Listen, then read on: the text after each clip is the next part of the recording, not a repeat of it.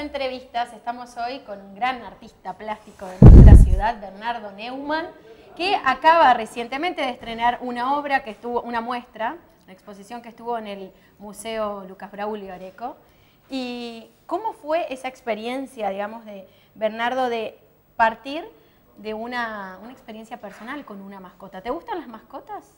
Soy bichero ¿Tuviste siempre. siempre mascota? Siempre, siempre, desde mi infancia, este, desde, no sé, desde que me acuerdo. Siempre, siempre, siempre y rodeado de perros, rodeado de gatos. Este, bueno, porque mi vida comienza así, con lo más simple, digamos. Y bueno, entonces, el compartir, digamos, todos los días de, de la vida con un animal, y llega un momento que aprenden hasta el mismo lenguaje, los códigos, son, son una copia fiel de lo que es uno. ¿Saben ¿no? el horario en que llegas a tu casa? Están todo, ahí como todo, sí, sí, sí. expectando. Sí, y bueno, fue una. ¿Y qué pasa con uno de, de- de- de tus mascotas, con tu perrito, que eso te lleva después a armar esta exposición? Fue una experiencia muy trágica, muy terrible, y entonces, no sé, esta muestra fue más que nada un sacudón hacia la comunidad y la voy a seguir este, proyectando en otros espacios, Ujú. poniendo en otros lugares, porque, eh, no sé, por desidia, no puedo calificar, digamos, este, salió un pitbull y me la mató de una manera muy cruel y bueno, entonces, y también, digamos así, este, hace que tengamos conciencia o tomemos conciencia, digamos, que los animales este, necesitan de nuestro cuidado siempre. El descuido puede, en este momento fue fatal para mi pobre animalito, pero también lo puede ser para un niño o para, como ha sucedido en tantas oportunidades, ¿no?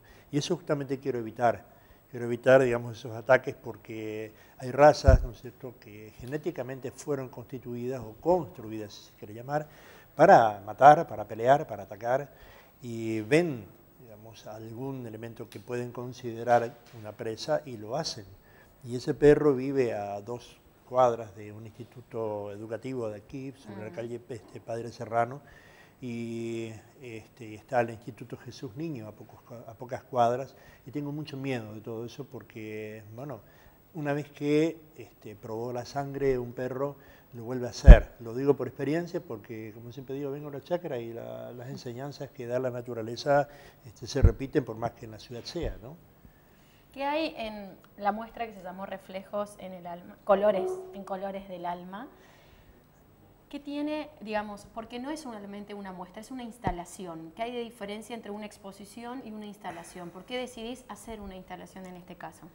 Ambas cosas están bien dichas, reflejos y colores, porque el alma lo que hace es este, reflejar justamente aquello lo que uno siente y los colores los pone el creativo. Entonces están presentes ambas cosas. Lo que me llevó justamente era eso, una instalación que no es muy habitual en mí, ese sacudón, esa parte de docente que uno lleva adentro justamente para comunicar algo diferente a la sociedad, porque si quedamos solamente en la parte bidimensional, o sea, en un cuadro, este, lo podemos hacer. Pero yo siempre digo, cuando es algo tangible, cuando es algo tridimensional, parece que llega mucho más a la gente y tal es así que las repercusiones que tuve, digamos, en los medios, este, en las redes sociales, fueron a veces muy fuertes, este, con detracciones, con comentarios que a veces no fueron muy felices, pero justamente ahí está esa realidad en cuanto a que este, lo mejor que hice fue justamente eso de movilizar conciencias. Y los colores justamente es- fueron esos, los colores rojos, los colores que expresan de alguna manera mucha sensibilidad, mucha, mucho dolor en el alma, mucho impacto, exactamente, que impactan en el, en el común de la gente. Y eso este, fue, digamos, muy fuerte y ha movilizado bastante, y eso justamente es lo que fue la búsqueda en ese, en ese contexto. ¿no? Bernardo, eh, igualmente en la, mu- en la- en la instalación, digamos, lo, que- lo que yo al menos pude vivenciar es, está la bidi- bidimensionalidad del cuadro y después había un collar Sí. del, digamos, de, de tu mascota, ¿no? Eh, y al tener un elemento así como ahí tangible, decir, ay, es como que está la presencia, es, está el alma ahí también, ¿no? Sí, eh, elementos que conformaban la vida del pobre animal, Ujú. ¿no es cierto? También este, estaba, digamos, todo esto teñido de rojo y demás. Y si bien de alguna manera pareciera que fuese bastante chocante, truculento, pero no es otra cosa que una cantidad de plásticos derretidos, una pistola de calor, derretido, digamos, formado, digamos, este, de alguna manera como si fuesen los restos óseos, más este, otros elementos que son, no sé, de, uso cotidiano, un pedazo de esponja de esta este, plástica, digamos, y bueno, y eso todo para justamente a través de los distintos elementos, cuando el pintor o el creativo se está, digamos, maduro ya con una cantidad de experiencia, se vale de cualquier herramienta para decir algo y no solamente a través del color, no solamente a través de la forma, sino que con elementos que no tienen nada que ver con lo plástico, digamos, se pueden armonizar, se pueden organizar y decir mucho y mover justamente conciencias, que eso también es una de las funciones del arte y no solamente de brindar belleza, ¿no? Así es. Bernardo, ahora qué sigue en, tu carrera, te estás yendo como para el e-commerce. Estás intentando ahora, bueno, en una nueva plataforma que también la brinda Misiones Online, eh, compra misiones, vas a tener la posibilidad de ofrecer todas tus, tus diferentes piezas al mundo. Es este, una iniciativa que realmente aplaudo, la de Misiones Online y la invitación que hizo a los plásticos de la empresa, me parece fantástica porque este, somos malos vendedores, producimos mucho, pero este, si no hay alguien que se encarga eh, de justamente de la comercialización y esa otra parte, no la sabemos. ¿Por qué decís que, digo porque a, todos los artistas les toca, ¿no? Eh, al momento de comercializar como que les cuesta venderse. Hay varios factores. Primero que no le podemos este, poner precio. El arte no tiene precio, mm. porque si no, este, no sé, ¿Cómo explicamos que es totalmente subjetivo? ¿cómo, explicamos que un pedazo de tela que tiene 70 por 80 a veces vale millones? ¿no es cierto? Caso Van Gogh, ¿no es cierto? Y por otra parte, este, siempre anteponemos nuestros sentimientos, ¿no es cierto? Y para nosotros es algo que no nos queremos desprender, pero como contrapartida queremos seguir produciendo. Entonces, a ver, ¿cómo se, cómo se armoniza todo esto? Necesitamos vender para poder recaudar algo y poder comprar materiales. Los materiales son muy caros generalmente.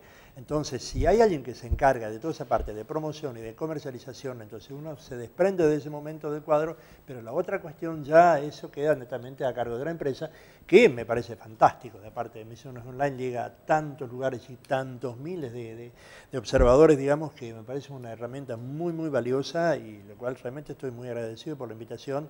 Y bueno, y ahí justamente traigo este, trabajos que tienen que ver... ¿Con qué empezás a, e, este camino de, del e-commerce? Eh, comienzo con, este, con la serie del Sol, que tiene que ver con la mitología y la leyenda, y después comienzo también con que estuvo expuesta en varios lugares, en, el varios lugares. en el Museo de París. Sí, este, pasa que conforman muchísimos cuadros. Una, una serie siempre este, está compuesta por entre 50 y 70 cuadros, depende, digamos, este, Depende, digamos así, la motivación y la, y la búsqueda, porque un cuadro siempre da pie al otro. ¿Y con esa muestra no te habías ido a qué país de, de Europa? Rumania. Ah, Rumania, Rumania, me acuerdo, sí. A Rumania también fui con ellas. Bueno, estas son otras cosas que este, las produje hace poco, pero siempre tienen que ver sobre el mismo tema. Y después el otro, este, los otros dos cuadros tienen que ver justamente con paisajes del alma, con lo que estoy produciendo ahora, y bueno, estoy totalmente inmerso en todos esos temas. Y bueno, y como dije anteriormente, con todos los acontecimientos, porque se necesita, se necesita un sacudón como para poder salir a veces de esa meseta, ¿no creativo que tiene cada uno y que a veces uno da vueltas sobre el mismo tema, pero al venir este, algún motivo, digamos, muy especial, generalmente la gente cambia digamos, este, cambia de estilo, de técnica, de lo que fuere y muestra una cosa diferente a la gente. ¿no? Bernardo, ¿seguís con la docencia que te sigue apasionando? Sí, sigo con, sigo con la docencia, pero este, también con un poquitito más de pausa. Y bueno, este, en estos momentos me encuentro de licencia, así que este, por ahora... ¿Pero estás dando talleres en el Parque del Conocimiento también? Nos reunimos ah. a pintar con la, con la gente, pero digamos así, como clase totalmente diferente, pero como clases magistrales, así de la universidad, este, como debería ser en una universidad, este, ya no, porque bueno, este, ya estoy grande y quiero dedicarme... llega el momento de descansar también. Claro, llega un ¿eh? momento. Así que nos reunimos con la gente que trae un cuadro, charlamos, miramos, vemos, este, pero es, una cosa, digamos así, muy, muy tota-, totalmente diferente, ¿no? Así que eso es. Antes de terminar esta nota, cada vez que paso por la costanera veo esa hermosa escalinata que, que nos dejaste plasmada con tu arte. ¿Qué te pasa a vos cuando, bueno, qué te dice la gente que te encuentra ahí en el cotidiano, en el día a día? Fue uno de los trabajos que más repercusión y que mm. más aceptación tuvo hasta ahora. Y bueno, ha dado vuelta al mundo este, la foto desde Australia, tengo gente conocida, digamos, ahí, me ha mandado, o sea, distintas partes del mundo. Y bueno, eso se, se masificó y realmente muchísima satisfacción porque este, muchas personas, este, no sé, quinceañeras o a veces desde algún desfile o no sé, tantas cosas. Este, Parejas, niños que se posan ahí con la... Ponen ahí, ¿no es cierto? Algunos poniendo el pie como si fuese en el agua. Eh, realmente me hace muy feliz y es una de esas este, iniciativas que hay que felicitar justamente a la Secretaría de, de Cultura de la Municipalidad porque se han hecho cosas muy buenas y entre ellas justamente, no porque lo pinté yo, sino por la iniciativa en sí. De poder Igual digo, es una obra transmedial, digo, porque siempre está el espectador, digamos, que se involucra y forma parte y la termina como de cerrar, ¿no? Siempre, este, como decía anteriormente, este, a veces hay gente que pone el pie como si fuese sobre la parte superior de la piedra, digamos así, están apoyados de una manera muy este, muy graciosa cuando uno ve las fotos que publican por ahí. Sí, fue uno de los trabajos que más satisfacciones me trajo. Y hay otros proyectos más ahora, este, un poco más adelante. ¿Qué se viene? Eh, otros murales interesantes. Eh, bueno, yo... ¿Más grandes que los que están en la costanera, que está eh, No tal vez tan grande, pero con un poco más este, de sentimiento desde el punto de vista religioso. este, yo siempre soy un agradecido al cielo por tantas bendiciones y siempre digo donde me convoca de una institución religiosa este, que tenga un, cariz cristiano, siempre estoy, y porque es una manera de devolver digamos, a la comunidad creyente todo aquello y lo mucho que recibo diariamente. ¿no? Podemos decir, no, no me digas el nombre del eh. lugar, pero es la cúpula de una iglesia. no, es, un, es un mural, es un mural este, en el centro, cerca de este, la Plaza San Martín. Listo, ya está. Bueno, gracias Bernardo. Ahora tus obras empiezan a recorrer el mundo a través de www.compramisiones.com. Así que gracias por sumarte y esperamos que el próximo encuentro entonces sea hablando de esta obra que estás haciendo ahora. Muchas gracias. Gracias por esta reunión con entrevistas. Seguinos a nosotros en www.misionesonlinetv.com.